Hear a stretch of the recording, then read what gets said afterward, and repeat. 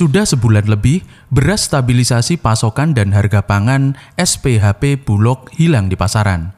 Kondisi tersebut terjadi di sejumlah pasar tradisional di kota Kediri, yakni Pasar Stono Betek dan Pasar Pahing. Dari pengakuan para pedagang, keberadaan beras SPHP dinilai sudah lama menghilang. Bahkan hampir sebagian besar toko yang sebelumnya bermitra dengan Bulog mengaku telah lama tidak mendapatkan pendistribusian jenis beras tersebut. Lili Uli Agustin, salah satu penjual beras di Pasar Stono Betek, Kota Kediri, saat ditemui jurnalis Radio Andika mengatakan, sudah satu bulan lebih dirinya tidak menerima pendistribusian beras SPHP. Padahal banyak masyarakat yang menanyakan keberadaan stok beras SPHP, lantaran dinilai murah dan lebih terjangkau bagi masyarakat. Sudah nggak ada Pak, sudah kosong. Itu kosongnya mulai? Kalau nggak salah ya, eh, sebelum puasa kayak banyak yang tanya.